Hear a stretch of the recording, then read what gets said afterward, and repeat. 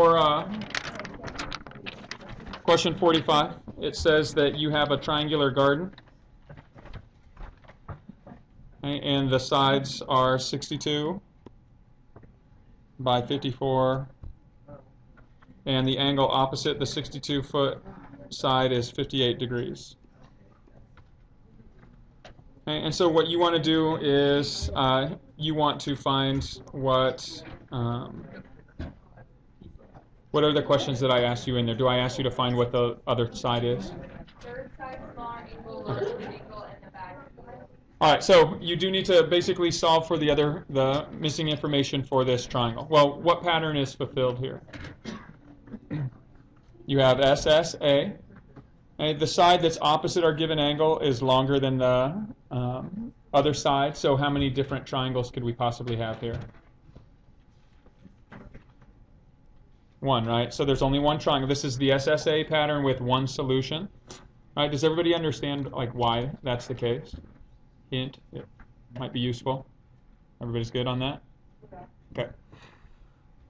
So when you look at that and uh, you understand you're dealing with one triangle, what we can do is we can use the SSA pattern. Tells us we should use law of sines. Okay? So we're going to use law of sines to solve this.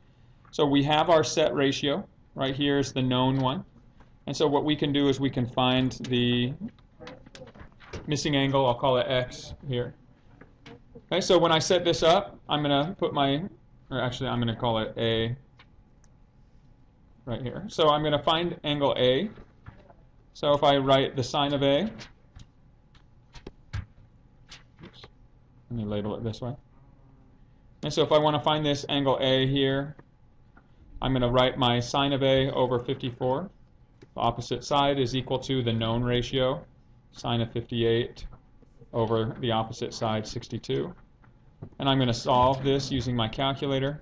But remember, I can't just solve for A here. The, the TI-89 won't um, take an inverse trig ratio and find a variable embedded within this trig ratio.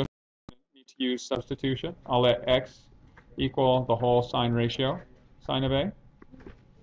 And I'm going to solve for x in this case. So when I use my calculator here, the F2 algebra tab, I get x divided by 54, set that equal to the sine of 58 divided by 62. I'm going to put a decimal there so my answer is given in decimal form. And when I hit enter, close it off, identify x as the uh, variable I'm solving for. I expect my ratio to be some number between negative 1 and 1. Okay, and it is. And now if I want to solve for my unknown angle, I'm going to take the inverse ratio of that value. So the inverse sine of x use the with key, and then just highlight it. This is going to give me my actual inverse sine. So this tells me what the angle is that I'm looking for. In this particular case, it winds up being uh, 47.61. Okay, and so here's my angle. The next thing is to find my uh, remaining angle.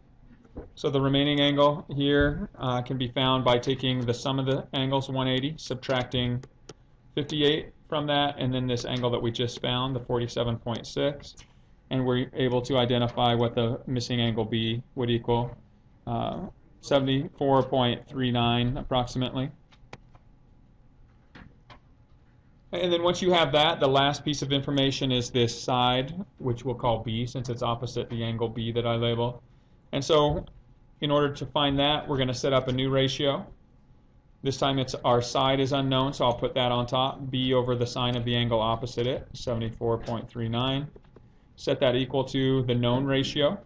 So since I'm starting with the side lengths on top, the 62 goes on the top of this ratio over the sine of 58. Once again, we're going to use the solve feature. And here we are finding the variable, so I can call it x, but it'll give us the direct solution. So if I click the solve feature, F2 algebra tab, write my equation, x divided by the sine of the angle that I just found, 74.4. Set that equal to 62 divided by the sine of 58.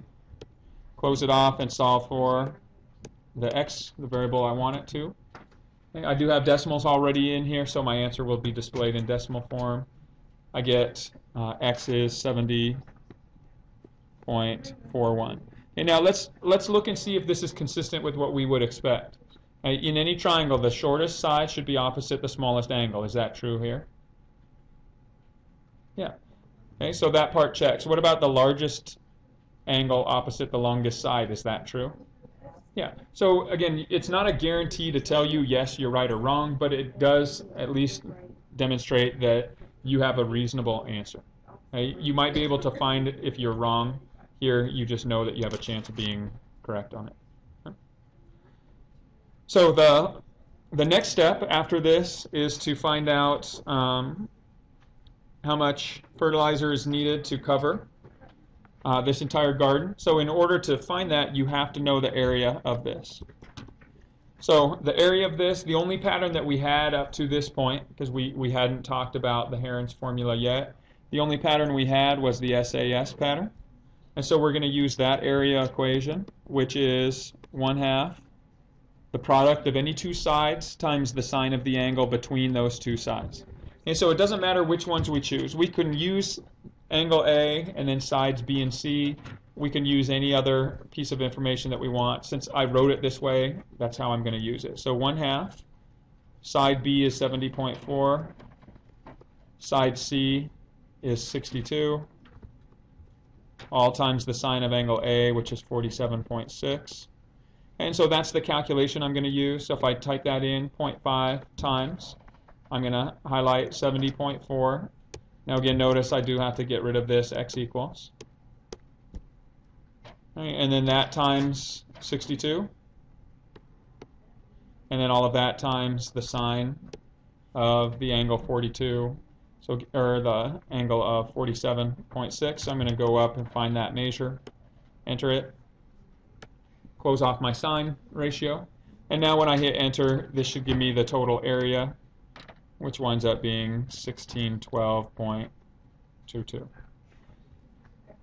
And now, the question asks you, again, I don't know if I specifically asked for the area, but it, it tells you that each bag can uh, cover 200 square feet.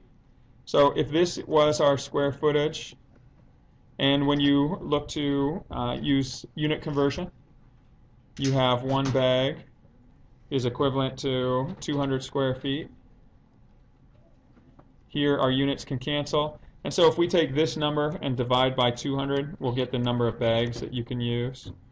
And now, your answer is 8.06. Can you purchase 0.06 of a bag if you go to a store? No. So how many bags do you need to purchase? So this one you have to actually round it all the way up because it's a partial. It's kind of like cans, cans of paint is the other way that story problems will often do this. And so you have to convert this into 9 because you can't uh, buy just a portion of it.